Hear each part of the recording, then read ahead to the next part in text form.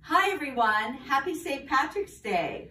We are back for another What's New in Ward 2. And last week, I had my Chief of Staff, David, and today I have my spe special assistant, Bree. And Bree, thank you for wearing green with me today. I think we're the only ones in the office, right? And we are. Yeah. No so, spirit over here. No spirit, right? None. So, and, and let's pinch them before we leave, right? Because Yes. that's the tradition. So thank you for being here with me today. Thanks for having me. So we're going to tell you what's new in Ward 2 and some of our, we're going to talk about some of our upcoming events. So Bree, why don't you tell folks about the reopening of our newly remodeled pavilion pool? What's going to be happening? Okay, so it's going to be on Friday, April 2nd from noon to 2 p.m. We're going to have a DJ, we're going to have some refreshments, and we're also going to have an Easter surprise. Uh, and supplies are limited, and just to let you guys know, we're going to have uh, COVID safety restrictions, so you can come out, feel safe, and just have a blast with us. Do they need to RSVP or can they just show up? They can just show up. Wonderful. You know, there's plenty of space, so I'm sure we can fit almost everyone there.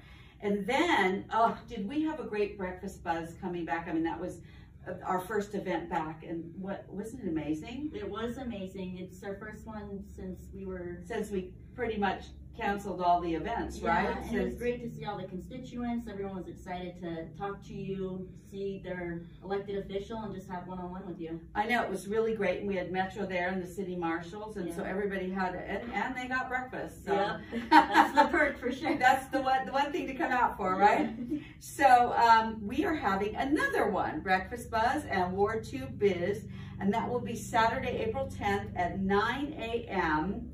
And uh, I believe that one is at the Egg and I, Egg Eggworks, Eggworks. Eggworks.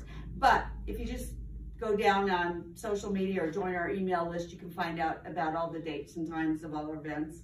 Mhm. And then we have another wonderful free event, and that will be our Art in the Park. Yeah. I mean, this is a tradition that we're starting, and I hope it continues long after I am not in Ward Two because uh, we need to feature our local artists. I mean, that's Yes. exciting, right? Yes, and we've definitely gotten calls from local artists who are interested. And, um, you know, we were passing out some of these flyers at our previous events, and people were really excited. I mean, it's outdoors, Right. you know, you get to look at local artists, support them. And we're gonna have food trucks there. Yeah.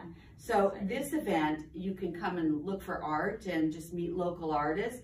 And it's gonna be April 17th from 10 to 4 at Bruce Trent Park at Vegas and Rampart. So more details of all these events and everything that's happening is right here on our Facebook page or Instagram, Twitter, and now we're on LinkedIn. Yep. yeah, at Victoria Seaman. So we hope that you will um, get on our email list and come join us for wonderful events in Ward 2.